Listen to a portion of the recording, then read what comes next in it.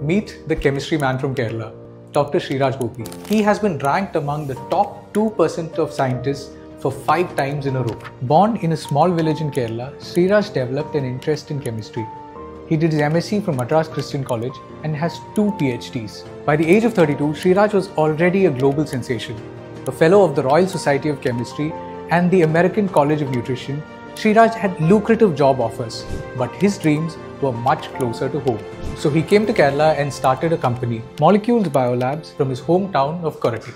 Molecules Biolabs develops health and wellness ingredients using advanced techniques like liposomes and micelles to make ingredients and medicines work better and get absorbed more easily in the body. So when we started, as any other startups, we were struggling a little bit and we couldn't even afford to have an office and it was all uh, bustling in my car. Today, Molecule Biolabs is valued at 100 crores with clients in across 40 different countries. It employs 100 people, including 50 researchers working on cutting edge research, all from this small town in Kerala. And that is Sreeraj's vision. My aim is to make Koratty as the biggest innovation hub for liposomal research. That's my dream.